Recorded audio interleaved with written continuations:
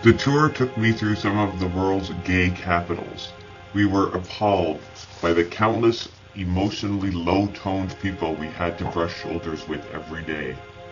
Hubbard's hatred of homosexuals had been instilled in us from our initial training at the complex, and was firmly cemented as we continued up the bridge. During my training, I had been drilled on the dangers posed by gays and lesbians, who were no different to pedophiles in Hubbard's view. Hubbard's solution for these sexual perverts was to quarantine or institutionalize them, or to put them under church processing to cure them.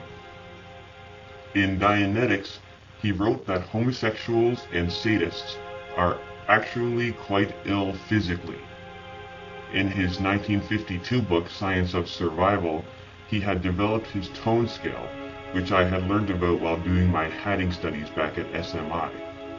It ranges from negative 3 to positive 4, and homosexuals, or perverts as he referred to them, fall in at 1.1.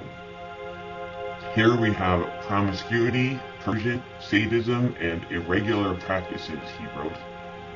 He went on to describe them as intensely dangerous and a flaming danger signal which must be heeded if the human race is to go forward. I had never had an opinion on homosexuals before I joined the Church of Scientology, but as a Sea Org member I had learned to despise them.